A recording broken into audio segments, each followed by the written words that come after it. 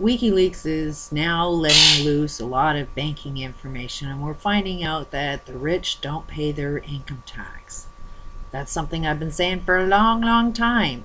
One of them that I seen, I'll put a link to one of the news stories that uh, a Swiss banker has handed over a ton of information about which companies are not paying their income tax. Now, one of them in Canada is Bobby G. I'll put a link to this uh, Hulu.com where you can actually watch his shows.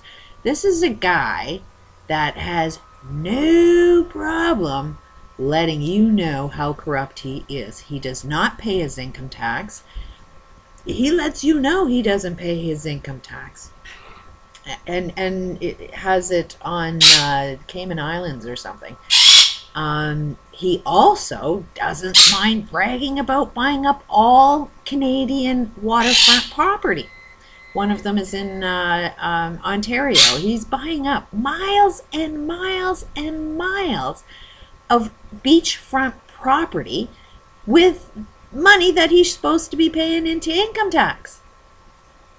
Um, he uh, bought a place. I, I, I think it's the Cayman Islands. I'm not sure which area, but um, when he went there, he couldn't get his kids in school.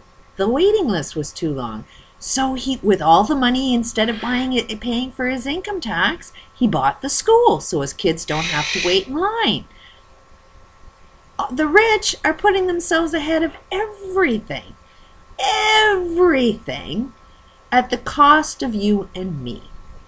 So while people want to bitch and complain that I'm on a disability welfare system, which I am complaining about because there was an awful lot of crime that landed me here, yeah, you're disabled for a reason. What disabled you? Oh, a hell of a lot of crime. Try punching you and, and see if you don't get bruised. The level of abuse that lands somebody on a welfare system is outrageous that these are crime the criminals are allowed to walk the streets. My ex who who who is a criminal according to our tax rule or our, our which he doesn't pay his income tax either and and revenue canada doesn't give a shit whether an oil field worker that owes child support doesn't have to pay his income tax it's kind of important to him because as long as he reports his income then he has to pay child support on it how does somebody that works in an oil field make next to no money? And have his oil field company lie about it. Uh, one of the lies that is easily proven is he said that he's poor and broke and tried to claim the poverty ticket that that's why he doesn't support his children. Um, but he actually owned a $300,000 home right after he claimed bankruptcy. Between him and his wife, they have three bankruptcies. They just spend on credit, and then when they're done and they don't want to pay their bills, they claim bankruptcy and buy houses and toys and, uh, you know, quads. This guy has it all.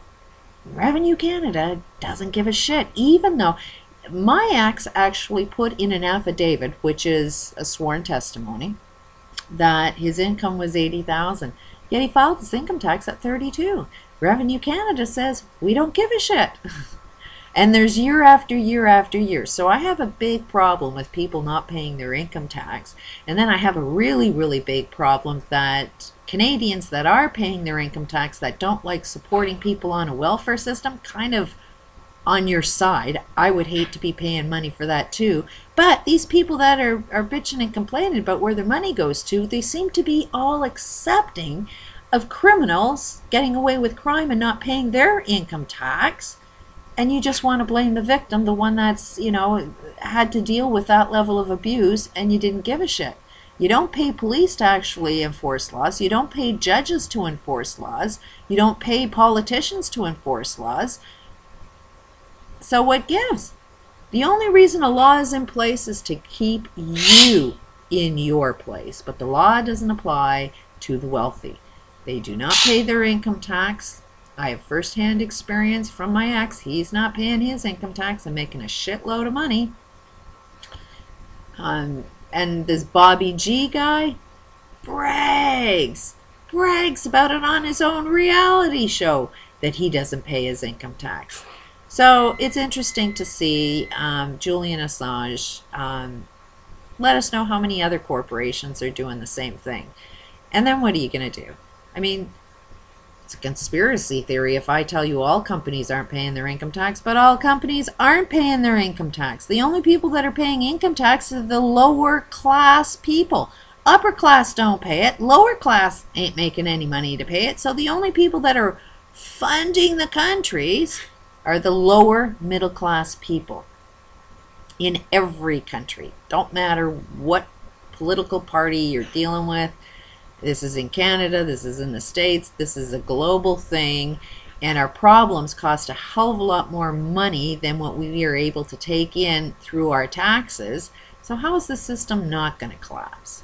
It makes no sense. You be the judge. Check out the links. Look at that documentary. You'd be real surprised.